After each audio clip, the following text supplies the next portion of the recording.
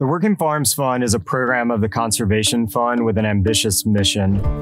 We're buying small to mid sized farms, connecting next generation farmers, and setting them on a permanent path to affordable farmland ownership. At a systems level, the Working Farms Fund is helping to increase the supply of fresh, healthy food.